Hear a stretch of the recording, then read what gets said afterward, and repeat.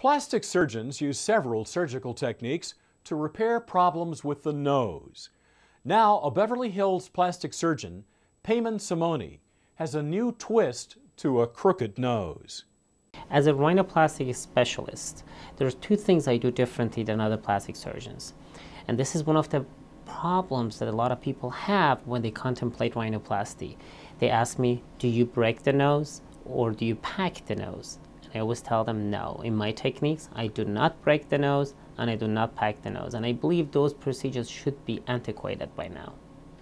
When I do my rhinoplasty, I use very small instruments. Rhinoplasty is one of the most difficult procedures of all plastic surgery procedures.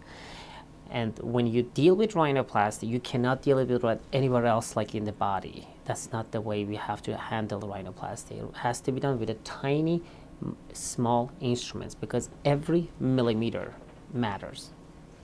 The first thing I do is we'll set the patient to sleep. And when the patient is asleep, they can't hear anything, they can't feel anything. Then I make small incisions inside the nose and expose those cartilages that cause the nose to have either a bump on the nose or the white nose or whatever problem with the nose is. We expose those cartilages and I like to shape those cartilages. I do not like to remove cartilages because a lot of surgeons they cut and remove cartilages inside the nose. Long-term results are bad because nose collapses, they get a pinch nose, they can't breathe. Those cartilages are for a reason.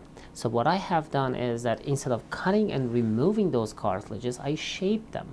I use the same cartilages that the person has and I shape them so it will be more natural and the function of the nose doesn't change. The recovery is much easier if you don't break the nose, don't pack the nose, and be very gentle with the nose.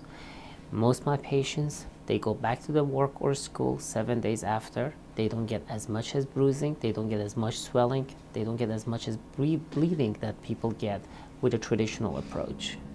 We asked Dr. Simoni for some before and after photos of some of his most recent cases.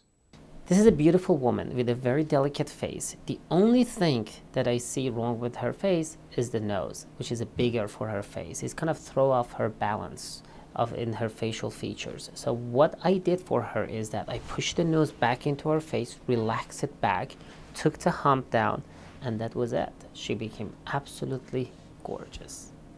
This is a woman that has a nose that we call the droopy nose, means that the nose looks like it's falling down and create a hook. In this case, I had to lift the nose up and bring the nose in towards her face so she doesn't look as big. And I took the little hump on top of her nose and made her nose completely perfect for her face. I had a patient by name of Alex. She came to me, she had two rhinoplasties on her nose. She had a completely crooked nose by the end of the second rhinoplasty when she presented to me. She was the first doctor that I felt really confident. Like he, he, some of them were too eager to fix it. Some were scared because it was the third time. And he was the first time, first time that someone was patient. And he had some hesitations, but he also, there was confidence there. So I felt, I felt really good and it was the best, best thing I ever did. It's very important for patients to know that most plastic surgeons, they use their artistic judgment in their work. And that's the easiest thing for patients to examine. They look at the doctor's before and after picture and to see if they agree with his artistic judgment. Always check the doctor's before and after pictures. If you don't agree with his artistic judgment, that's not the doctor for you.